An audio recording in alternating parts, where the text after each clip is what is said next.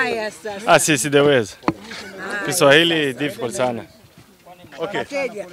Mateja. Uh, I think the the two games we have uh, now is good for preparation for the final, but also we when you wear like a, a important jersey as Simba jersey, you have to, to play every match to win. So our mentality is to come to, to these two matches before the, the final, to, to come to win, to do our best, and to get uh, very very sharp to the final.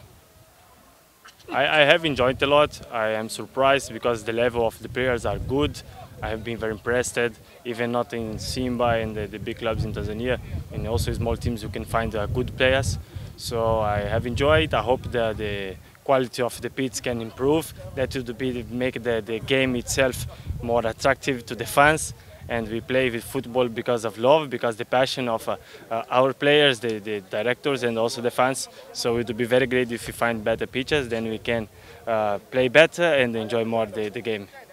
Uh, next season is far yet. Uh, I'm very concentrated to the two matches we are seeing and also to the, the final game. It's very important for, for us and uh, for me myself it's a special taste. I like to play this kind of games like final days. I like this uh, adrenaline. But uh, next season uh, we have to see. it's not my, my call. It's about the the techniques, uh, decisions of, of coach and CEO. So I have to, to focus and be inside the pitch, do my best, and when I have the opportunity, and the rest I leave to them. Mambo vipi? Eh, safi sana, mimi na, na enjoy sana Tanzania. Asante sana Simba, Simba fans. Mimi eh, napenda sana. Wow,